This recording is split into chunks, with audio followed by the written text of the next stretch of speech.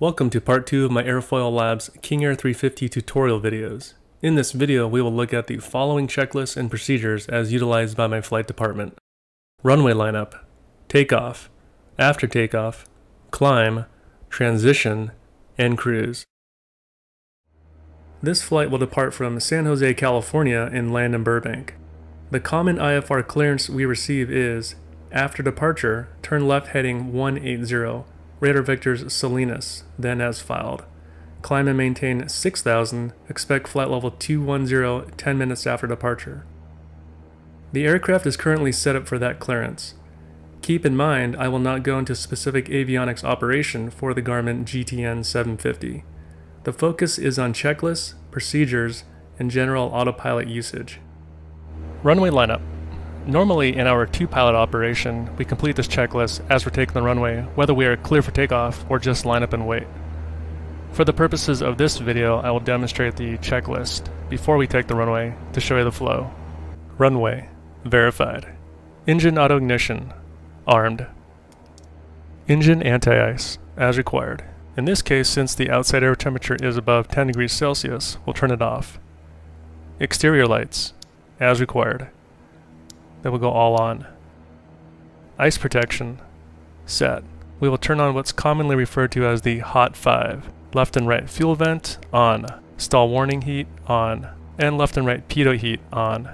TCAS and transponder, set. TARA, squawk in 1200. Radar and terrain, as required. Radar standby, terrain as needed. Environmental bleed air, to low. Bleed air valves, as required. In this case, we'll open up the bleed air valves. Annunciators, considered. Headings. We'll compare the pilot and co-pilot headings to the magnetic compass and make sure that it lines up with the runway heading. Runway lineups complete. After lining up for takeoff, slowly add power keeping an eye on the torque gauges. Since we are good up to 100% torque, aim for 95% as it will slightly increase during the acceleration. It is easy to overtorque these engines as I will demonstrate. Depending on your hardware setup, it is likely that you will reach the torque limit before reaching the stops, and that is representative of the real aircraft. Auto feather lights on. Airspeed alive. 60 knots.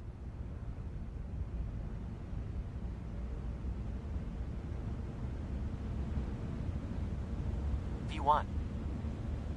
Rotate. V2. Positive rate. Gear up. Attitudes check. Gear indicates up.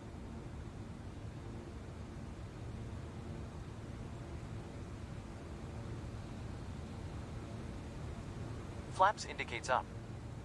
At 400 feet above ground level, verify flaps up and turn on the yaw damp. We can begin our left turn to heading 180, so I'll press heading and climb on the autopilot. Verify the desired modes are active on your attitude indicator EFIS screen. At 1000 feet above ground level, reduce the prop RPM to 1600. As you reduce the prop RPM, keep an eye on the torque as it will rise and possibly over torque your engines.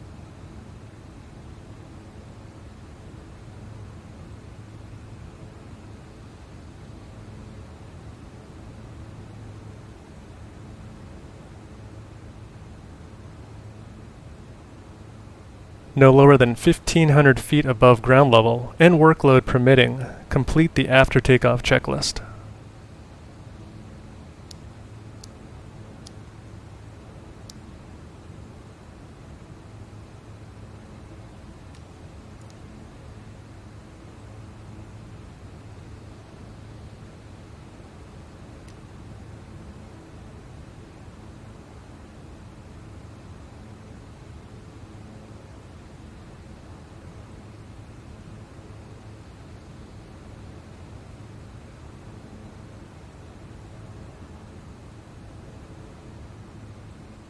At 10,000 feet, complete the climb checklist. Pressurization, environmental bleed, checked and normal. Engine instruments, monitor. External lights, set.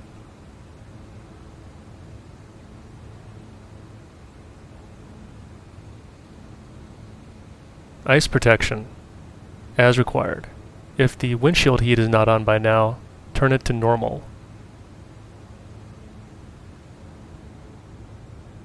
If climbing through or cruising at flight level 180, complete the transition checklist. Altimeters, 2992 standard, three times. Oxygen masks. We normally would ensure that there's airflow in the oxygen masks. Recog lights, off.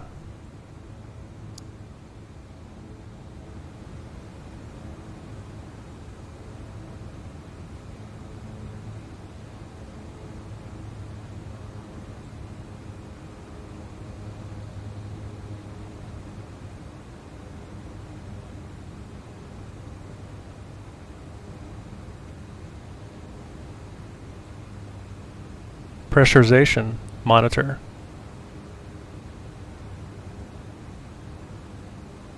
Cruise power set. Engine instruments monitor. Auto feather off.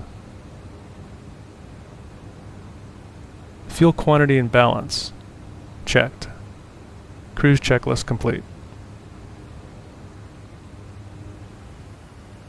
At flight level 210, and the power set with an ITT of around 800 degrees Celsius.